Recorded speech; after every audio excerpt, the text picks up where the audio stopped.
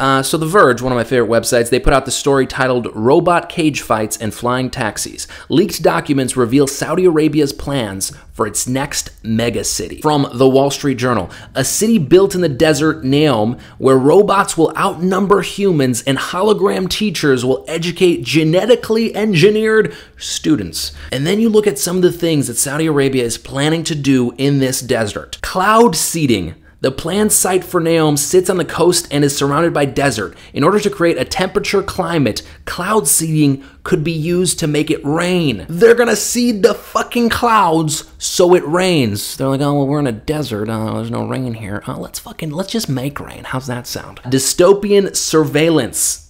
In the city of the future, cameras, drones, and facial recognition will be ubiquitous. The aim is only to keep citizens safe, of course. it's not to keep you in order and acting appropriately and acting the way we deem appropriate. It's just all for your safety. Genetic engineering. Um, a new way of life from birth to death, reaching genetic mutations to increase human strength and IQ. Robots everywhere, robot maids doing chores for you, robot cage fights, an amusement park full of robot dinosaurs.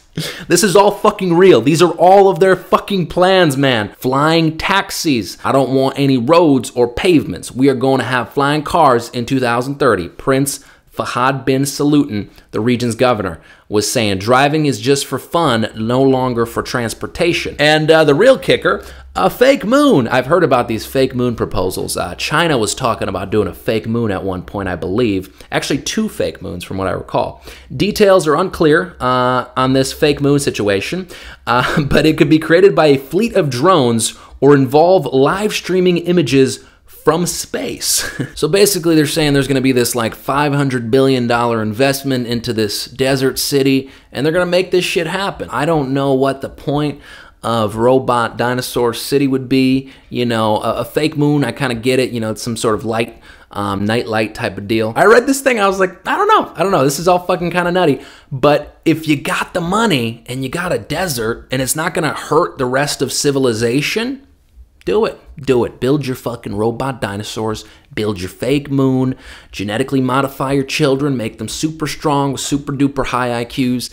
Uh, I always think about what it's going to be like when these super high IQ individuals interact with the lower IQ individuals because it happens every day. Like it happens like brilliant people interact with slightly less intelligent people all the time. You have Elon Musk. If Elon Musk is talking to me, that is a disparity. That is a giant disparity because obviously I'm much more intelligent than Elon. So how is he getting? No, I'm fucking with you. Um, Elon is way too fucking smart to communicate with like a dumb monkey like myself. And um, what's it gonna be like when these disparities are much greater? When somebody has an IQ of what would be like 5,000, and we we normal humans we're on an average at 100. How do you communicate with somebody of a 5,000 IQ and you're at a fucking 100? And they're also super strong, you know? You're over here fucking taking steroids and reading books trying to be the best version of you, and they're over there just fucking picking up cars with an IQ of 5,000. Their brain is in a different dimension. It's gonna be very weird. Um, I wonder how wide the gap will be. Uh, no, no sexual innuendo there. How far apart can we really get? How how much can we enhance human intelligence? That's what I'm wondering. Can you make an IQ of like 5,000? I'm sure IQ is the wrong term, and I think IQ is, is very stupid. Um, EQ is so important. There's all these important metrics. Once we become enhanced humans, we're going to figure out better uh, measures of intelligence, uh, true intelligence across the board. Right now, we just have this shitty mechanism uh, of measuring it. If this stuff doesn't harm the world, I'm all for it. But it's hard not to harm the world when you genetically modify humans to be smarter, stronger, because it takes just a couple bad actors to decide, you know, let's fucking blow this place up. Uh, let's just create some antibiotic resistant bacteria and just kill everyone. And we'll just fly off to some other galaxy because we figured out how to live forever and uh, we'll set up camp there, but we'll just kill the rest of these fuckers. I don't know, man. The future's fucking scary. But uh, yeah, what do you think? What do you think about this Saudi Arabia's uh, plan for this mega city? Do you think they're going to do it? With all that money, they probably could. They could probably just get a bunch of engineers from fucking MIT and Harvard and Yale and be like, yo, fuckers, build this shit. Here's a pile of money and suck my dick. And they're like, whoa, whoa, whoa, we just build things. We don't suck dicks. Well, you're gonna fucking learn. You're gonna build me fucking, you're gonna build me robot dinosaurs and you're gonna suck my, whoa, whoa, whoa, whoa, whoa, we're just building robot.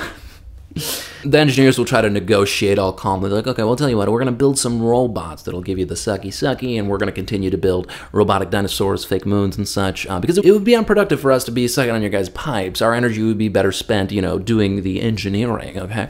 And then the Saudis are like, okay, all right, sounds good. Yeah, just build us the fucking uh, robot cocksuckers.